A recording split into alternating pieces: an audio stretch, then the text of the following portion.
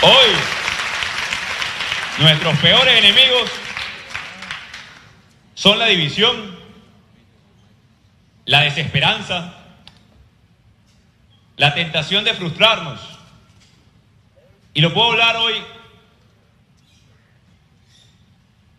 con propiedad.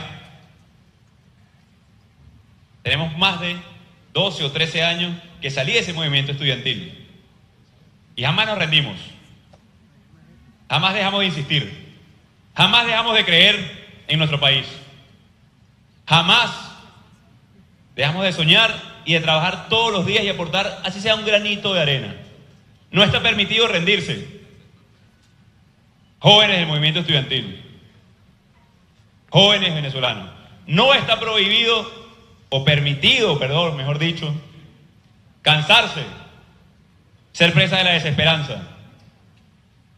Hemos logrado lo que parecía impensable.